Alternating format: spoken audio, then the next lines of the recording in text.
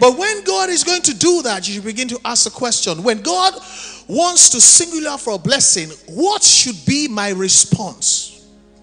I told you, God is more the God of opportunities than God of blessing.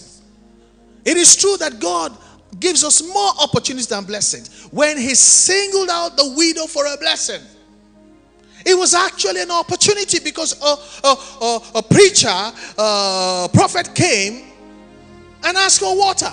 And she said, I can deal with that until he asks for cake. What would have been your reaction? I want to ask you if she did not react properly. With the, will the singling out for a blessing, would we be reading about it now? You know, you have blown some opportunities. That's why you need a pastor like me. God gives more of opportunities than dash, dashing you things. She converted the opportunity so much so she enjoyed balanced eating when others were dying of famine. As a matter of fact, people ate their children in the days of famine. They ate their children from a point of hunger. She was feasting because when she was being singled out for a blessing, she knew how to respond to that. When you are singled out for a blessing, you may have to sow what you were counting on. She was counting on the little flour and oil for a last meal. She was going to stretch it for as long as possible. But God knew that she was just going to die. And so God took a bit of that and multiplied it and continued to supply her. In the day you, you, you are appointed for a blessing, you have to be ready to respond the way God expects you to respond. And that's where teaching becomes very important so that you recognize God when He shows up and you recognize the best response you need to have. It is true that some preachers have abused the generosity of people. But God still has not changed his mind. The Bible says Jesus Christ is the same yesterday, today, and forever. If God wants to give you a harvest, he will give you an opportunity to sow a seed. And many of us have withheld the seed and we're wondering where is my harvest. Some of us have eaten the seed and now we're hungry. He gives seed to the sower so that the sower will have bread for food. Are you with me? I remember when I was preaching, it was an anointing service the change of our times and our seasons. And I said, Some people are here. Times have been so hard. The season has not changed. Maybe you're still in the season of your parents that struggled and you are still struggling. Another generation still born in captivity. And I said, I perceive that you need to sow a seed. That day I sowed a seed. But I don't think a lot of people responded. You see, we edit the sermon. Online editing, real time editing. As soon as the pastor says something you don't want to do, edit. But it is on record. The woman did the right thing. Her child benefited. Do you know if you don't do the right thing, not only you will suffer, your children will suffer, your grandchildren will suffer. The Bible says we are of those who cut covenant with God by sacrifice. A covenant is for generations. Her son profited from it. And he that had an ear, let him hear what the Spirit is saying. In the day that God singles you out for a blessing, the other thing you need to know, and I'm going to get to the point of prayer in a short while, is that you need to put God's agenda first, even above your children. God comes calling through the man of God. He says, Give me water.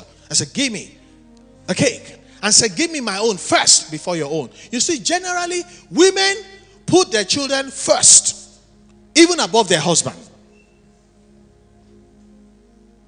And that's fine because a husband who is a real man would come last. What am I eating when my children have not eaten?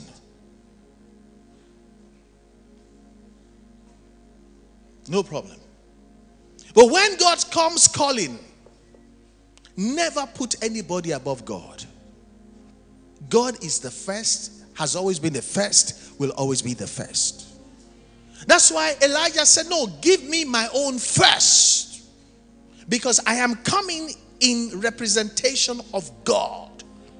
And there are many women here, even if God showed up in your house, you will, you will say, No, my children first. See, who gave you the child?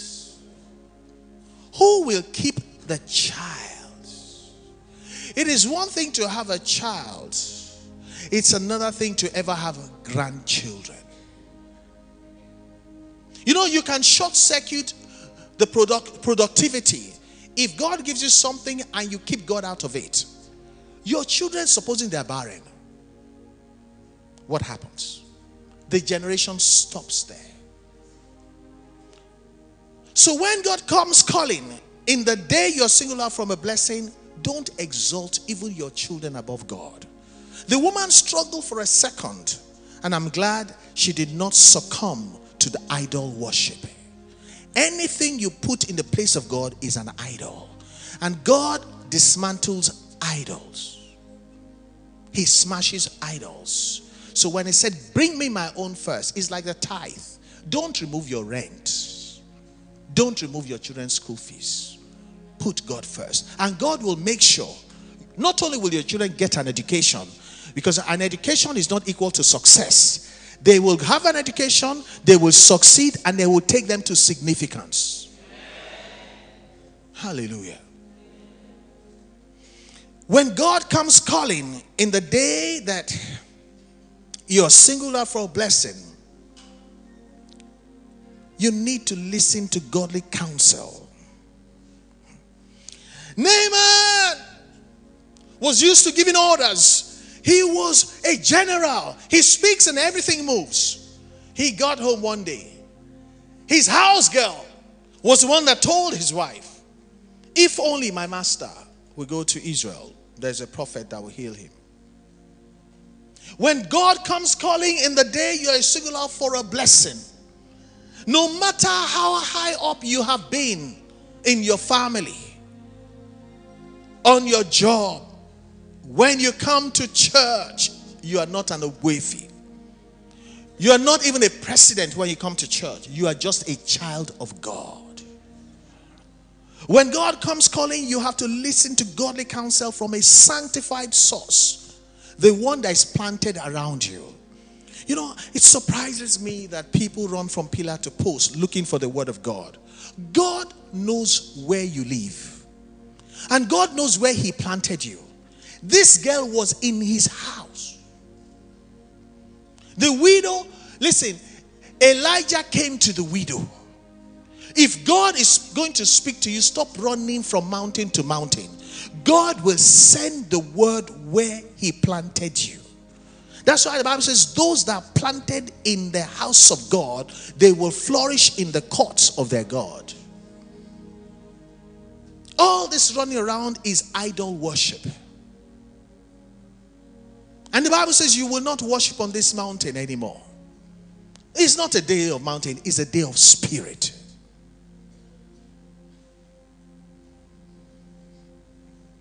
You will listen to godly counsel. The girl said, in specific terms, go to Israel, to the man of God. I want you, I don't want you to miss this one. When he was going, he went to the king of Syria. He said, I want to go. And the king wrote a letter to the king of Israel and wrote to the king of Israel, I'm sending my servant Naaman to you. I want you to heal him.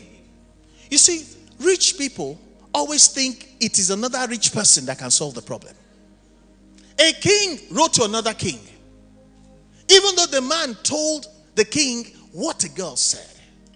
Can I tell you? I said, in the day that God singles you for blessing, you will listen to godly counsel, not rich man's counsel. Because when he took the letter to the king of Israel, the king of Israel tore his clothes and said, Ah, I may be a king, but I cannot heal. I may have money, but I don't have salvation. And the man didn't know what to do until they said, No, he shouldn't have written to you, king. It is Elijah he should send the man to. Many of us run to the wrong people. I have respect for the big man in your family. I have respect for the president. God ordained the authorities. But can I tell you something? The power is in the altar.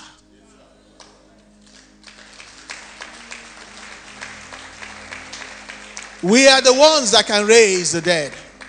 We're the ones that the oracle of God. And when we say what God says, even the king has to respect it. Because it's by the word that even the king will reign. It was a, it was a word that came, and the word came to pass beautifully. In the day that you're singled out for a blessing, listen to me, saint of God. You would have to drop your pride. You know, there are people think it's only rich people that are proud. I have met poor people that are proud.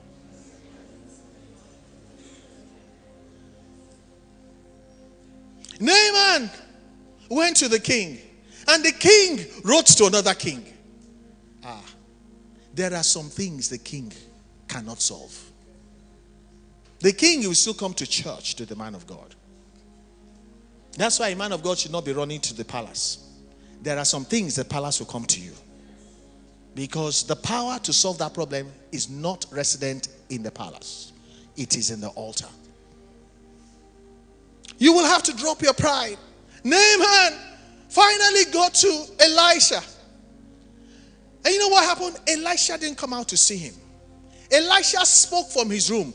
Tell Naaman to go to Jordan and go and wash seven times. Naaman was not used to people not shaking and entertaining him and rolling out the red carpet. But you see, when you come to a man that knows his office, as much as he respects your own office, he does not shake.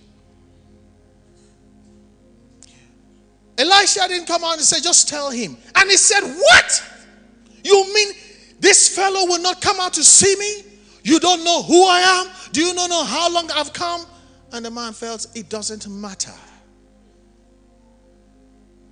And maybe it wasn't arrogance, maybe it was humility because Elisha wanted God to be glorified. If I came out, lay hands on you, you would think it's me. I only spoke the word, I've never even seen you. Sometimes you misunderstand us. What you term as arrogance may actually be humility. The man said, Never. He said, Are there not better swimming pools in my house? I have a jacuzzi. In my hotel, there's a whirlpool and all kinds of things. How can I, Naaman, but a leper is blowing guy. Can I tell you? I love you very much, but when you come to church, please don't blow guy. Because the truth is, everybody is dealing with something. And whatever you're dealing with, may it not deal with you. In the name of the Lord Jesus Christ. And my job is to fight alongside with you so that whatever wants to mangle your life can be dealt with to the glory of God. The man said, I'm not going. I'm going back to Syria. And the boy started begging him, Oga, no do. You see, when people are begging you, no do, no do, ofe teni, you will just die a leper. You see, today, if you have Ebola, I'm sure they will not let your body to be buried in what's that place? No, that fancy vaults and gardens. If you die of Ebola, I'm sure Vaults and Garden will find a way to say the place is full. Some dead bodies will move.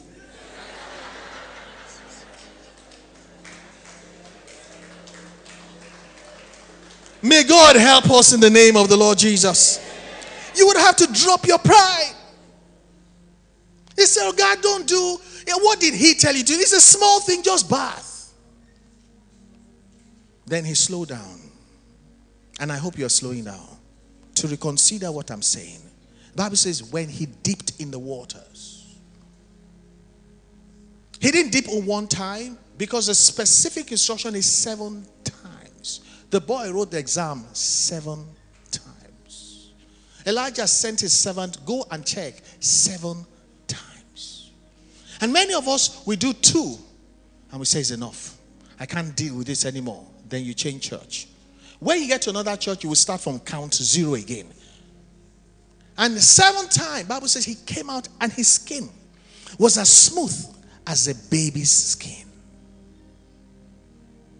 In the day that God singles you out for a blessing, you need to drop your pride and obey simple instructions. Jonah chapter 2, verse 8 says, Those who regard worthless idols, they forsake their own mercy. I want you to put it up. Jonah 2, verse 8 says, Those who regard worthless idols, they only forsake their own mercy. What is an idol? Pride is an idol. Disobedience is an idol. Nobody can instruct you. You will do your own thing, your own time, your own way. Those who regard, those uh, who cling to worthless, the word worthless is okay, you have been doing it. What has it produced in your life? Naaman, you've been swimming in your swimming pools. What has it brought you? You have a jacuzzi, you're still a leper. And guess what? If you're a leper, you have a swimming pool, you will swim in it alone. Those that regard worthless, I want you to consider worthless idols. Idols are exalted things, but they cannot produce the results. They forsake their own mercy. May this not be who we are in Jesus' mighty name. I want you to stand. I want to pray. Or maybe I should say, everybody sit down. If you want to be singled out divinely for a blessing, stand to your feet. I want all movement stopped because the power of the Holy Spirit is what powers the word will begin to move, particularly for those who are struggling like the widow. I want all heads bowed. You may lift up your hand, you may kneel down, but listen, it is time to pray.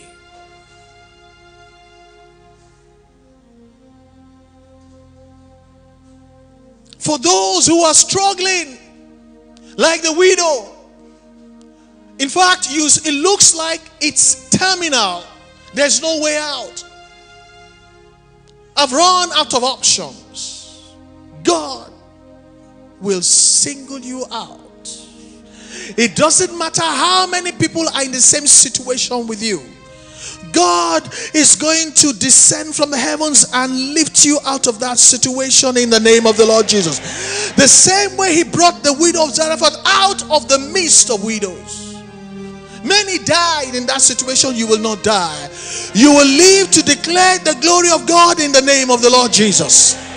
I want to pray for those who are doing okay but there is still a painful, shameful, disgraceful part of life. It may be marriage that lacks joy. There's no romance anymore. What should be enjoyment is now endurance. It may be a child that is in school, expensive school, but not doing well.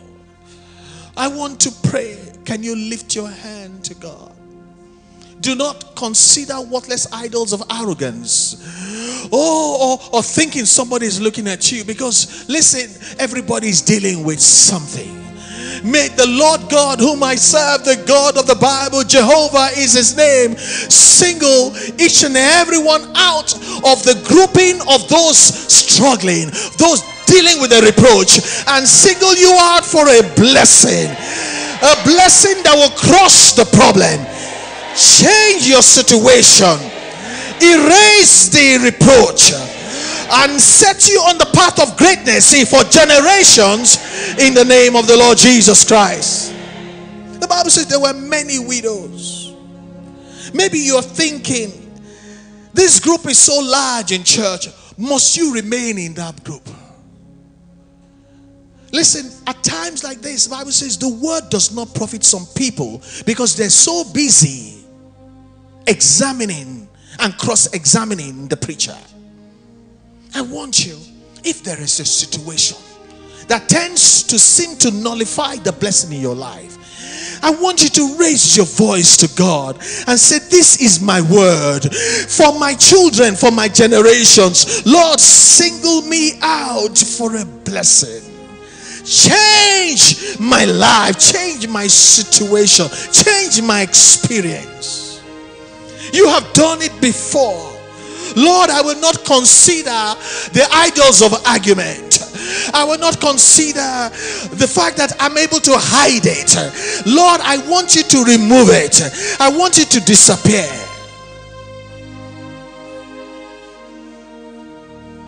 Lord, single me out for a blessing. Have mercy upon my life.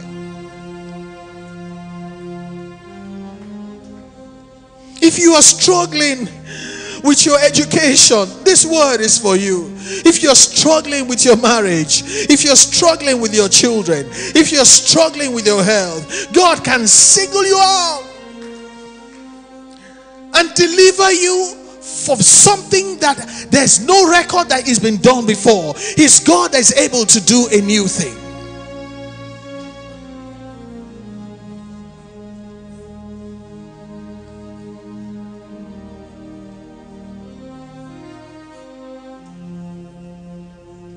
If you're struggling with your business, it's not about where I get the next loan or where I can borrow some money from. If you're struggling with school fees, God can single you out for a blessing. It's not about patching it any longer.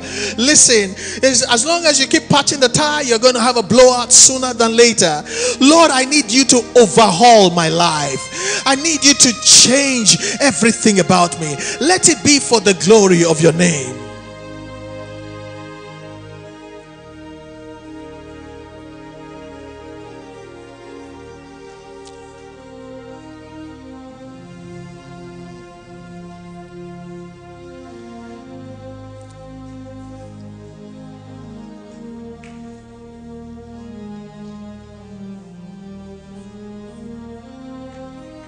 If you're here, you have accepted your situation, you have said it will always be like that. God is saying it does not have to be like that.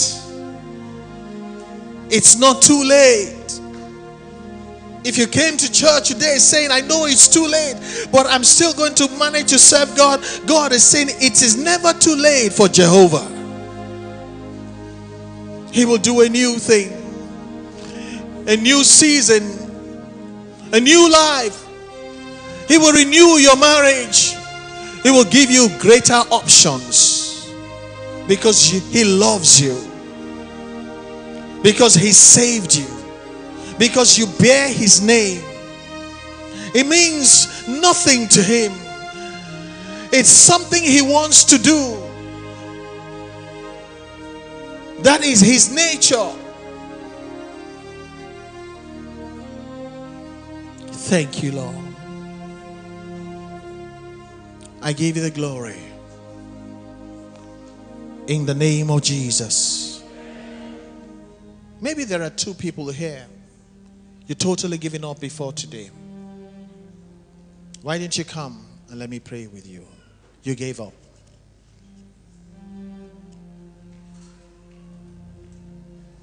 Why didn't you come? You will still come to church, but you had given up. You were just going to manage the situation. You've seen the end of the road. You can't see any further. I want to pray with you.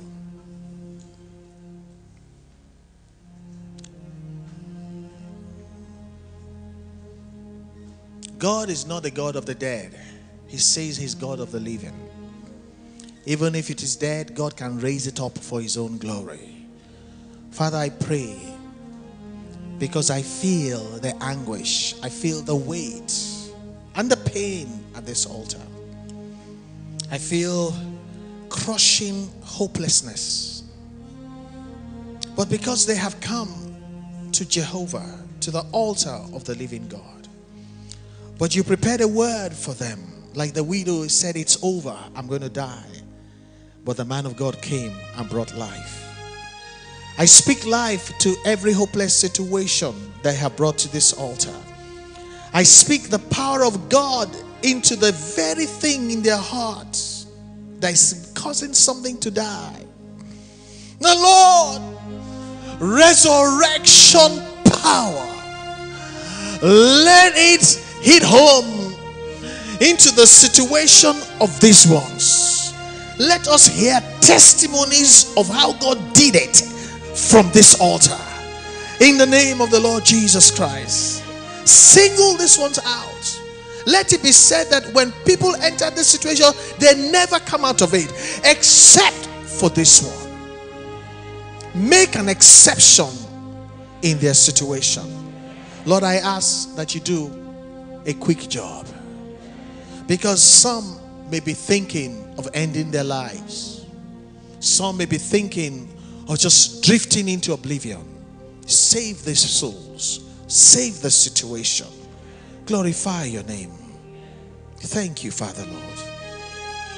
I want you to stretch forth your hands towards these ones and join faith with me. If only you could feel what I can feel. If only you can feel the weight. If you only can feel the pain, you would pray like you like you lost your mind. Mobrozoli kalamazon tebe. Ebikeli kalamazike bozon takala. Ebrozali kebe mani kalamazikele. Lord, help. Send help from Zion. Send angels with speed, oh God. Change what seems unchangeable. Do what seems impossible. Glorify Jesus, the Son of God. Holy Spirit, move and glorify the Father.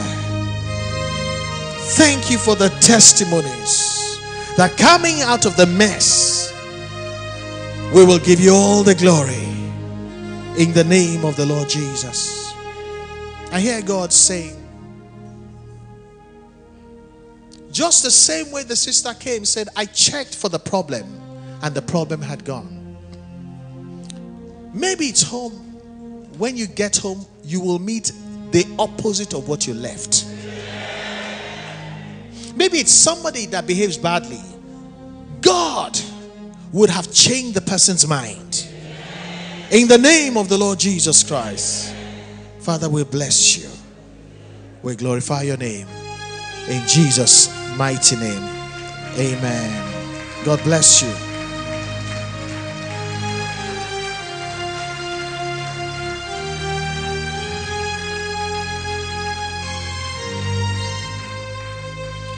All right. Somebody came to church this morning. I heard the Lord saying, You came to check. What do they do there? Is this God alive? You have heard the testimonies. You can feel the power. It's now time for you to come and give your life to Christ. Because you know that as well as you can see me standing here, that what I'm saying is true. Who is that person you came to see. You were not convinced, but you have seen a lot, you have heard a lot. And God is saying, What more do you want?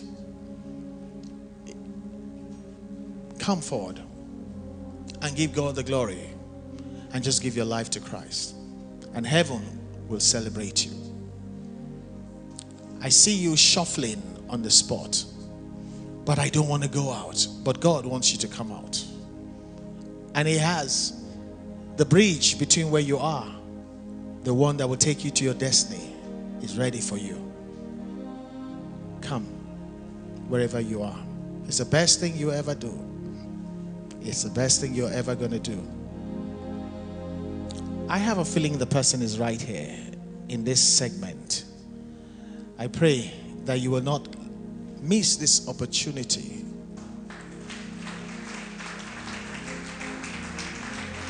God bless you. God bless you.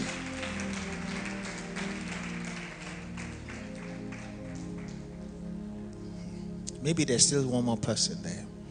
I want to pray for you today. I want you to say, Father, forgive me. I want you to say, Father, forgive me. I want, I want to be your son. I will no longer do it my own way. I submit to you. Change my life. Fill me with the Holy Spirit. Make me a testimony I will serve you all the days of my life. In Jesus' mighty name. What is, sorry, what's your name? Taiwo. Come closer. Lift up your hands to God. Father, thank you for Taiwo. I give you praise for his life. I say the struggle that wants to possess his soul be broken and make this one to become an evangelist. But the reason of your power that he will experience to speak to those who are like him in the name of the Lord Jesus Christ. Thank you, Father. I give you praise in Jesus' mighty name. Right, Taiwo. You did the right thing.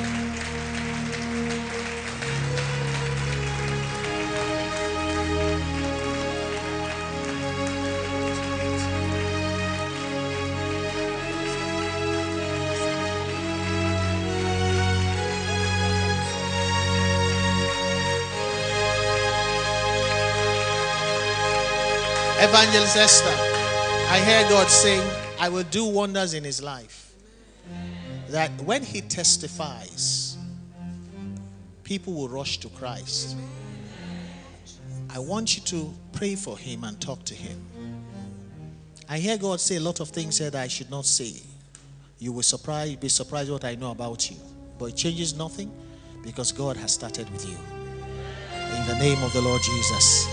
I want you to go back to your Maybe take him somewhere. Can you help me celebrate the Lord? Come on, celebrate the Lord.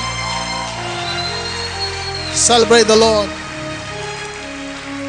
You are not glad for God, and you want God to be glad for you. Heaven rejoices when souls are saved.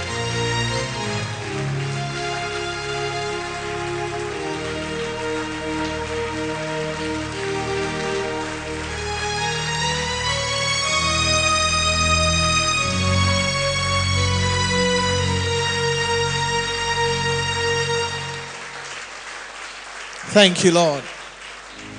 You may be seated. One day, very soon, he will tell you his real testimony. And guess what I will say that day? I'm not surprised. And the testimony will shock you. But I wait for that day. Now, let me take tithes and first fruit. If you're in church with a tithe,